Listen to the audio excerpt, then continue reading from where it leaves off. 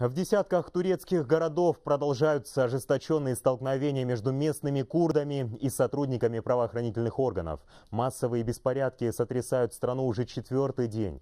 Недовольные люди требуют от властей усилить действия, направленные против боевиков исламского государства и оказать поддержку курдам, живущим в сирийском городе Кабани. В ходе протестов убит уже 31 человек. Массовые беспорядки начались в турецком городе Диарбакыр, а вскоре распространились на соседние Батман, Мардин, затем протестную волну подхватили в крупных городах страны. Адана, Стамбул и Измир. Не мог сдержать напора нарушителей порядка и комендантский час, введенный местными властями. Беспорядки в Турции начались после того, как в сирийском Кабани резко ухудшилась ситуация. Город уже третью неделю штурмуют террористические группировки.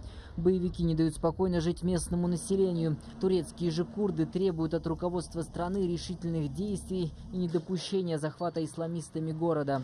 Большинство наиболее активных участников уличных беспорядков – молодежь. Среди них есть даже школьники. Радикально настроенные люди рушат все на своем пути, поджигают машины, громят магазины и кафе, забрасывают полицейских зажигательными смесями. В ход идет и огнестрельное оружие. Лично я против того, что в нашей стране появилась группа недовольных людей, которые устраивают такие беспорядки. Межнациональные столкновения никогда не приводят к хорошему. Все мы родились и выросли в одной стране, играли в одном дворе, а теперь что, будем драться между собой?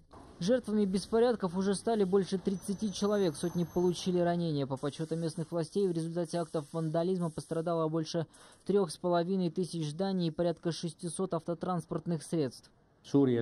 Народ Сирии последние три с половиной года, а народ Ирака около 30 лет, живут в ужасных условиях, в условиях войны и беспорядков. Однако Турция все эти годы не отказывала в посильной помощи этим странам. Поэтому мы не допустим, чтобы такая беда просочилась и в нашу страну, чтобы и наш народ испытал подобное. Акции протеста проходят в основном поздно вечером или ночью. Днем жизнь городов переходит в мирное русло. Сейчас в круглосуточном режиме в районах активных проявлений беспорядков дежурят сотрудники полиции. Сабиба Ибусинов, Ержан Женус, Самат Сулей, Турция.